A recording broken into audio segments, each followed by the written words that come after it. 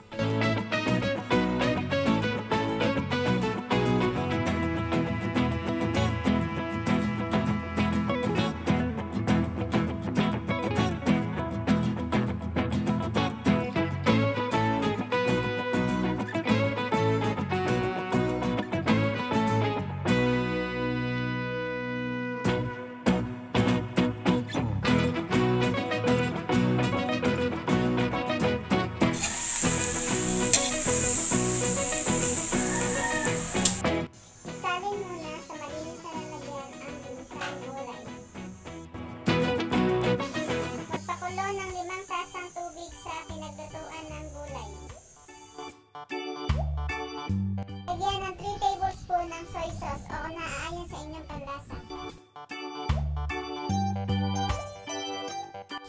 Kapag kumulo na, ilagay na ang canton noodles. Ilagay na din ang chicken nor cubes.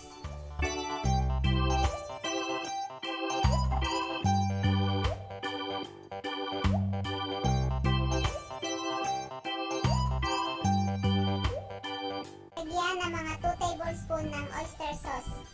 Ito sa nagpapasarap sa ating pansit canton.